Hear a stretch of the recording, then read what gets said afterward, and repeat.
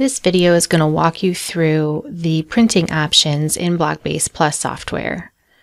So first of all, um, this is a foundation print dialog, and you get to this by selecting your block, which we have this block selected, and going to the print options and choosing foundation pattern. Now, what I'm going to show you will be specific to foundation pattern uh, printouts, but I will also talk about the other printouts as well. So I'm going to select foundation pattern and you can go through and change your, your options here. I'm not going to get into that right now. There are other help articles regarding the sectioning and piecing and numbers. Um, and any of these options here, you can look on help articles. But for this specific video, I just want to talk about the print preview. So go ahead and click preview. Now when the print preview displays, you'll see all the pages in view. Up here at the top, it is telling me that I have total of five pages to print. What you can do is you can move and rotate and create new pages so that your printout is set up how you want it to be set up. So right here, you can see that I have the key blocks really large. Now that was an option that I chose in the dialog here. By default is checked as small and I chose large. I'm going to show you that again. So both of those key blocks are showing up on the first page. Then I have all of my patches. Now I'm going to move these around and then I'm going to talk about the different features of the print preview. So first let's move some of these patches into place. Now you can see as I'm moving these blue boxes show up. What those are are indicators of where your margins are.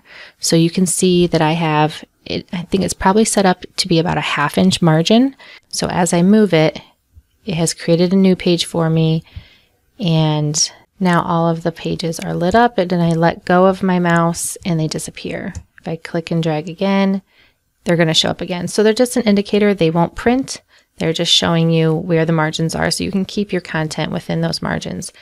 If you have your your patch too close to the margin, you can see that part of the patch will get cut off into the other page. So that's a good indicator as you need to move this over. So that's what that is. So just continue to move things around to fit onto pages. Now this one doesn't fit nicely on here. I could just move these down, but you can also rotate. So this green handle here you can click and rotate. If you hold the control key down, it will rotate by 15, 15 degree increments. And now you can move it into place. Now, when I'm clicking and dragging, I'm just holding my mouse cursor down and dragging it around. You know which patch you have selected because it turns red when you have it selected and it's ready to be moved or rotated. Now these two patches you can see are too long for this page and that is totally fine. As you move them, there's no way to go up higher because you have a margin there. So this is going to have to be taped together. I'm going to move it down a little bit so that when I tape these together, it's going to tape halfway through this square. Now you can't see the lines now, but when this does print, you'll get a tile line here and here. On one of these pages, you will cut off that, that extra half inch and then tape it to this page. So you'll see that once you print it, you'll see that tile line show up. You'll cut one of them and then tape these two pages together and then you have your, your piece. So if any page, if, if any patches are too big for a page, don't worry, those lines will print and you'll be able to tape them together. So now that I have my patches in place where I want them, I can go up and make some additional adjust adjustments. So here I can add a one inch scale square. If I click on that, it will add a scale square. I can move this around if I want to. I like to keep it on the first page, but that's a good way to test to see that your patches actually are to scale. They should be perfectly to scale when you print directly to a printer, but if you are creating a PDF pattern of these, then sometimes the PDF will scale the, the design. So you'll be able to measure that to make sure they're accurate. Next over here, you'll see some different options for zooming. So this first one here, I'm going right to left, is fit page. If you click on this, it will fit this first page in, in 100% view. Everything else will be zoomed out. You can also click Control F or Command F to use this option.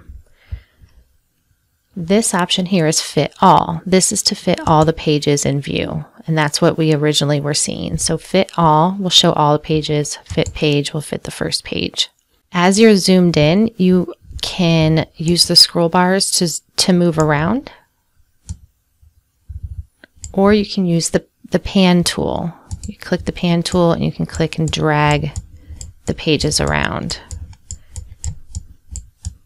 In the pan tool, you can use, you can just select the H to switch to pan and the, and the V to switch back to the select tool. So the select tool will let you select an item. The pan tool will let you move the pages around. Again, just click the V on your keyboard or click the H on your keyboard.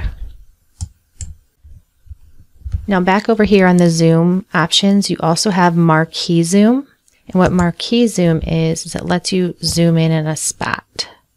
So you click, hold, and drag a box around the area you want to zoom in on. And then when you release your mouse, you'll be zoomed in on that area. So I'm going to zoom way out back to fit all. Select my marquee zoom, and I'll actually zoom in on this top area here and I can see the key blocks a lot better. Next to marquee zoom is zoom out, and that is just a click of the mouse. So just click and it'll zoom out in different increments. You can also use control minus or command minus if you're on a Mac, and it will also zoom out for you. The next option over is zoom in, and again, you just click it and it will zoom in or use Control plus or Command plus on a Mac, and it will also zoom in for you. So Control minus to zoom out, Control plus to zoom in, and again, if you're on a Mac, you use Command key.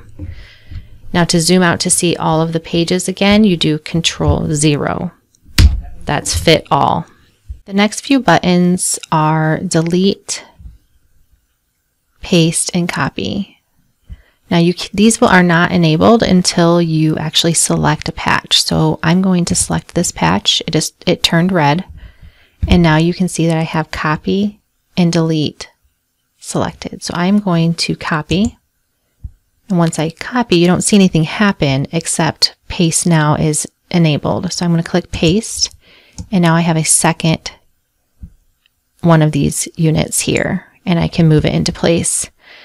If you decide you make a copy and you don't want it anymore, you can select it and click the X button, or you can click the delete button on your keyboard.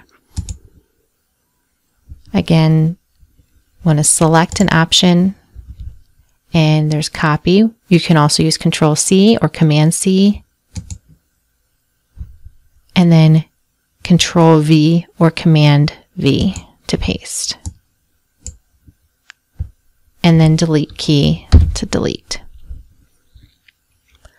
So that is how you move things around and how you um, zoom in, zoom out on the print preview.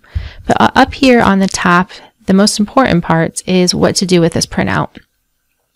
Now that you have it ready to go, you can just click print and that will pull up your print box. So you can select your printer, you can choose your preferences, whatever you want to do here or you can save as a PDF. So if I click Save as PDF, it's going to direct me to my Documents, My Blockbase Plus folder into the PDFs folder. Now, Blockbase Plus will automatically name it the same name as it is in Blockbase. So it is block number 1819. And I like to add that this is the foundation. So I know that this printout is the foundation printout for block 1819. I might also want to save the PDF for the templates of block 1819. So this way I know this is the foundation. So I'm going to add that to the file name and hit save. It's creating the five pages. And now when I go to my documents, my Blockbase Plus folder, I can open up PDFs or you can click the help button and that'll take you to our online support site. Or you can click close if you decide, okay, you don't want to print right now. You don't, you've already created your PDF. You can just click close. And that brings you back to the print dialog.